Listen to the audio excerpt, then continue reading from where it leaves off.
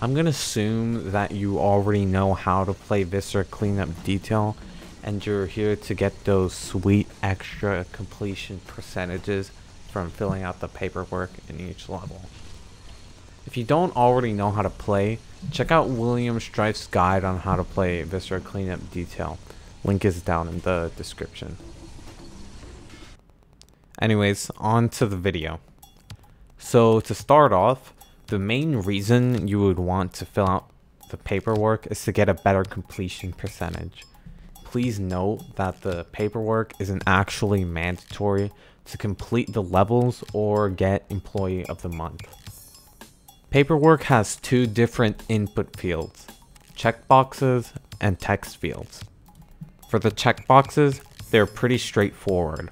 Just click on the boxes that apply to the question. For some of the boxes, they will have correct answers, meaning that the responses will be graded. The graded checkboxes mainly include the death particulars for each body found. You can either deduce the death particulars yourself, or you can look at the post written by Margot Bean. If you look at the game's wiki, it has a lot of information on how to deduce the death particulars. Other than that, the other checkboxes are only graded on completion, so you can put whatever you want to. They're pretty much just survey questions. For most of the text fields, they're open-ended questions, so the game doesn't grade you on accuracy because, well, it can't.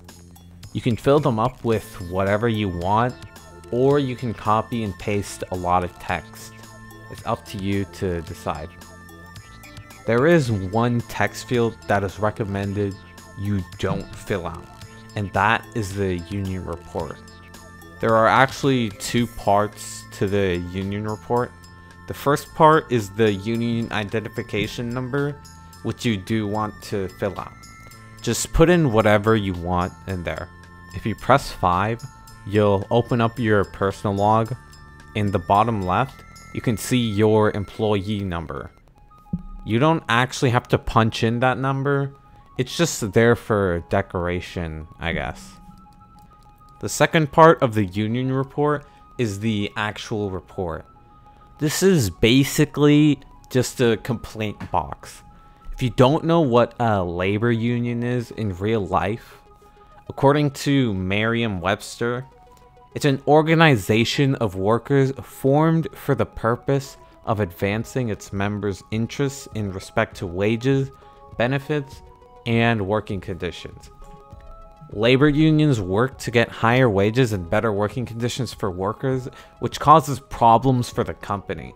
Because of this, filling out the union report will deduct points from your score, which I find to be funny.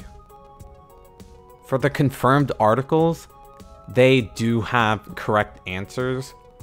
Basically, the closer you are to the correct answer, the more score you will get.